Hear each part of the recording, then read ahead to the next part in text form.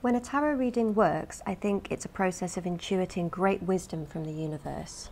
Yes, I wonder if I should keep the calendar as it is or if I'm aiming for too much. The hmm. world. The world! The world. When it doesn't, I think it's a meaningless parlor game. And the first is the King of Swords.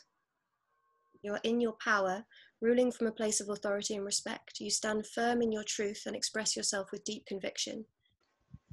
I don't think I've, I've, I've, I don't think many of those things are things that I've ever been accused of being, like disciplined. Well, I appreciate you um, guiding me in this mystical journey. Such a pleasure. This is your reading. Oh, nice. Yeah? Very nice. It's like the high priestess has sent them on a mission to find more wands. And I don't know how I feel about crystals, but I'm excited to like look into it. Yes.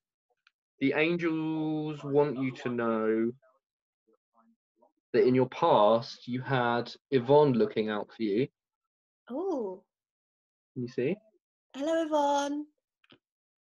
Hi, Liberty. Yvonne is holding a cat, and she says that you have a special bond with animals. Your pets on earth and in heaven are watched over by angels.